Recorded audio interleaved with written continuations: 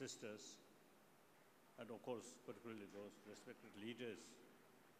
Uh, indeed, I'm very happy uh, uh, come here to participate uh, uh, this function. So I'm very happy. And now I remember, Kram Hinkasa, Kartikayan. what what go? Kartikayan. Kartika. mm. I know since many years. So one time in Delhi, I think, uh, Kasa Diri, Kasa, what did you say? Taj. Uh, I think Taj, mm, I met. Then he mentioned about this, this was the function, and he wanted me to participate. Uh, that date, as he explained, see, my visit to America already several months ago, you see, fixed.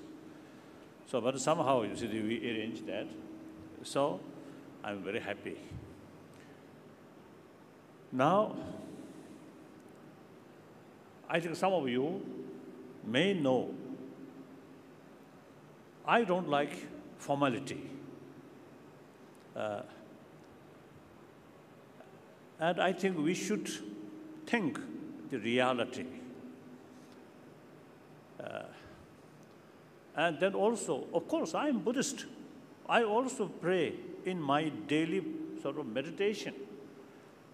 But I don't believe the prayer alone can bring peace or sort of better world. No.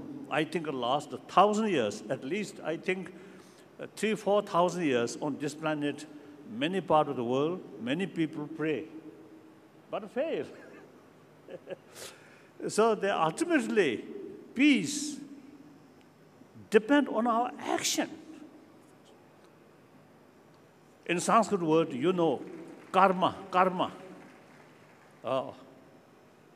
from the Buddhist viewpoint, law of causality, uh, so we whole world, whole planet, whole galaxies, they moving according to the law of causality. Of course, that's from Buddhist viewpoint. Uh, so, uh, cause and effect. Cause here, one major cause is human action. Uh, human action come from human motivation, human thought. So you see, you're the word happy thought. It's a very right word.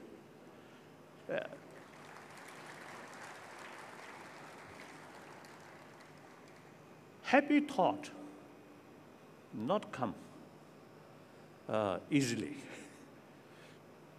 because the thought or mind does its own world so many thoughts so many emotions all these emotions and thoughts uh, including wisdoms including compassion all these are part of our mind part of thought so all these, I think thousands, thousands of different minds, different views, different thoughts interconnected.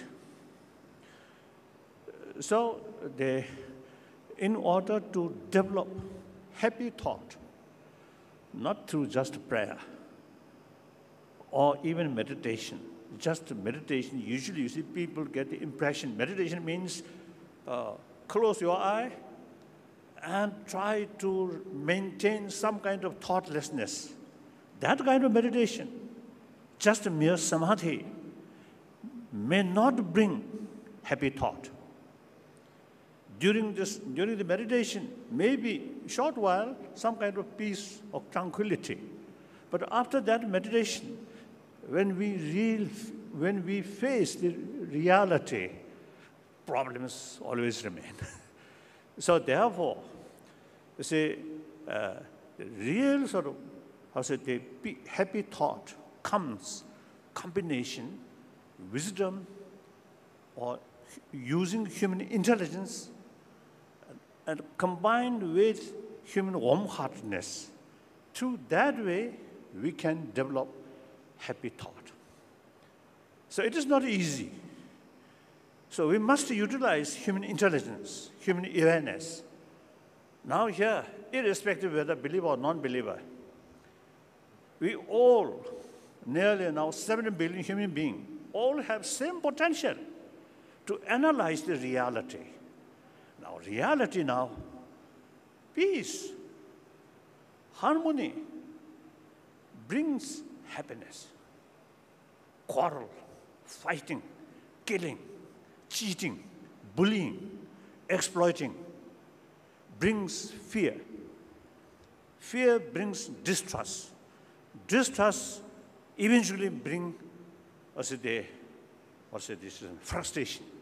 Frustration brings anger. Anger brings violence. So now here, now I want to, to, to, to tell my Indian friend, this country, Bharat, last, I think, two, two, three thousand years, the concept of ahimsa developed and practiced through generations. Even today, compare neighboring states. This country, in spite of many difficulties, many problems, still comparatively more stable, more peaceful. As far as democracy is concerned, in this country, in spite some petty politicians, but still basically very sound. All these come from India's thousand-year-old tradition, tradition of ahimsa. There are different views, but respect each other. One time, Advani told me one of the reasons for su- the successful democracy, democratic practice in this country is that thousand years in this country, the different sort of traditions, different views develop. So one view, the Sanskrit word charvaka,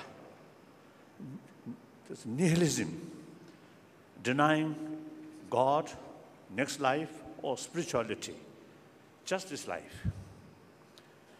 So rest of the Indian spiritual thought criticize that, even condemn that. But the person who hold who holding that Charvaka view refer Rishi. So sage, respect. So that is the, uh, he mentioned to me, that's the India's tradition.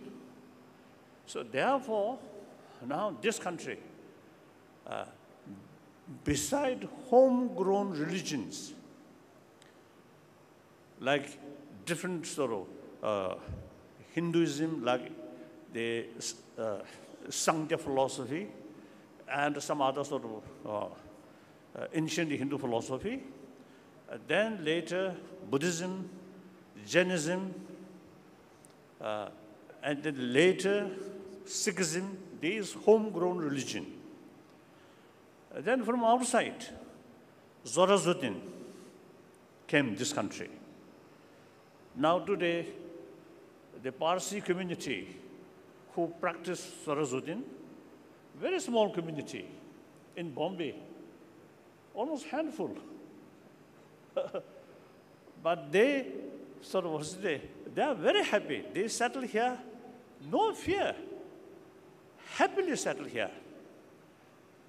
From small community, they made contribution for this country, I think in many fields, like Tata, as far as I know, uh, Parsi, and late was the, uh, the Field Marshal Manekshaw, also Parsi, like that. So, and then also Christian, Christianity come settled. Muslim come here, settled. So I think India is the only country where all major world religious traditions live together. Of course, occasionally, some problems here and there. That's understandable. Uh, over billion human beings sort of community, some mischievous people always there. That's understandable. But overall, India, I think, still practicing ahimsa as well as religious harmony. So now I want to tell, I want to share with you, my Indian friends, you must realize uh, this thousand year old India's treasure. This is not only just ancient culture or ancient way of life, but also very, very relevant to today's world.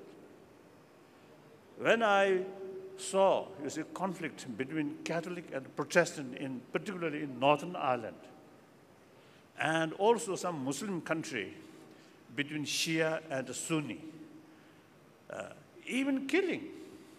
When I saw these things, I really admire the India's thousand-year-old ahimsa and religious harmony. So these, whether materialized from prayer or not, I don't know. In any way, today's world, India still practicing these things. Now that you must realize, there's India's treasure. You can make some contribution for rest of the world. Yes, religious, different religious, different religious tradition can live together on the basis of mutual admiration, mutual respect. So I think we Indian, I think must tell, show the world. And then ahimsa. Ahimsa, non-violence, very important because peace will not come just from Harsiday in the form of blessing from above. No. Peace we must create by ourselves. So the conflict, war, violence, actually are human creation. Of course, the, the nature element also sometimes, uh, also they acting like violence, like flood or it is, earthquake, these things. But that is beyond our control. But some kind of human act, some a major portion of our problem, which we today facing, many of them our own creation. So logically, those problems which created essentially by human, human ourselves, we must have potential to reduce this problem, to eliminate this problem. Therefore, since the violence also kind of action, the non-violence also kind of action. So I often you see telling people, now 20th century, very important century, in human history, but that century more or less becomes century of bloodshed. According to some historian, in 20th century, more than 200 millions of people killed through violence. So, the, and still, problem still there.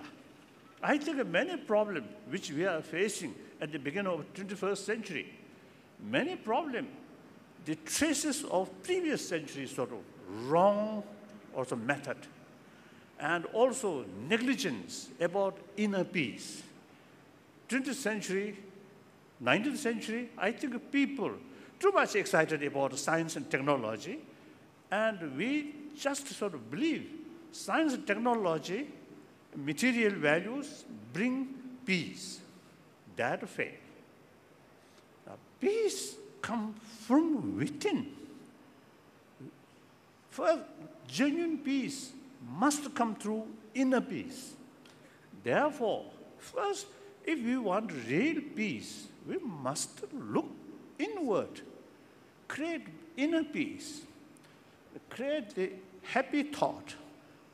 Then science and technology also become disposal of peaceful thought. Science and technology become disposal of hatred. Then like the September 11th event, those people who plan these things, their mind is concerned, very intelligent, very smart. But their intelligence, their sort of, what's the, uh, and then science and technology, guided by hatred. So that disaster is happening. So therefore, we only, you see, also the relying just science and technology and the material value. I think uh, this century uh, may become like previous century. So therefore, now we must make every effort for all levels, not only government level or, or leaders level, but ourselves, people's level, particularly our younger generation. Uh, we must have clear vision. This 21st century should be century of dialogue. Whenever we face some differences and potential of conflict, we must solve that through human way. Talk, listen, their sort of, what's the reasons, their interest, and try to find some kind of compromise. That's the only way. I think concept of war based on a view, we, uh, we should victory, others should defeat. One side victory, one side defeat. That's the old fashion of thinking. Uh, today's world, because of ecology, because of global economy, and now the, every nation, every continent heavily interdependent according to that new reality, of war is outdated. Destruction of your neighbor who create little problems, little inconvenience, but actually part of yourself. So destruction of your neighbor is destruction of yourself. So we should consider entire world, entire humanity as a part of we. India need your neighboring states. Asia need Arab, Africa, America. America also need Asia, Arab. That's the reality. So therefore, now the strong sort of demarcation, we and they, and on that basis, you see the concept of violence and destruction of your, our enemy, that's outdated. Thinking these, I mean, analyze these reality, then you can develop certain conviction. Now violence is no way to solve. Only through talk, through dialogue. So this century, we should make every effort to bring this century, century of dialogue. In that respect, India's thousand-year-old tradition, tradition of ahimsa, tradition of religious harmony, is very relevant. And meantime, meantime, I myself consider as a messenger of ancient Indian thought. So wherever I go, I always talk these two things. Ahimsa, based on karuna, that's my number one sort of as a talk, uh, number one sort of what's the commitment. Number two, religious promotion of religious harmony. So these are India's I mean, these, these, these, things, these thoughts not come from my sort of brain, but I learned from India's tradition. So while I really feel proud acting like a messenger of India, uh, but at the same time, when I saw uh, this is some still backward thinking within the country, caste system, or some kind of little discrimination. I think these we must address very seriously. Uh, so now today, I think some of the sort of the problems, see, due to these uh, backward thinking, that also sometimes involves some political sort of what's the uh, problems. So therefore, we must address some problem which can describe part of our tradition, but actually outdated and backward thinking. These we must remove. Recently, I was in Rishikesh and with many Indian sort of spiritual leaders and some sadhus, I told them I'm really proud to be like messenger of this country. But within the country, still some backward things there, backward thinking, backward habit. These we must change, we must address. So that I want to share with my Indian friend. So, India, as far as thought is concerned, last, I think, three, four, five thousand years, I think most sophisticated philosophy, sophisticated thought, you see, develop in this country. And sometimes I jokingly telling my northern Indian friend, of course, I also live in northern India, but sometimes I jokingly telling them, the South Indian brain is something very special. Look, see, at least see, the, in the past, sort of these masters who develop see, new sort of views, new thinking, most of them come from South India. So usually I, uh, I teasing my Indian, Northern Indian friend, see, as far as the brain is concerned, South Indian brain is more smart. I don't know. This is not a scientific sort of finding, but simply I just mentioned, uh, I just thought like that. So in any way, that's I want to, to share with you. Please, Indian, uh, about this inner development is concerned, you must feel proud. Uh, and meantime, bring Western, Western science and technology, now already now much developed here, combination, inner spiritual values, that also realistic, not orthodox way, realistic, and the Western sort of economy development, material development combined, then you will be really uh, create happy thought. Thank you.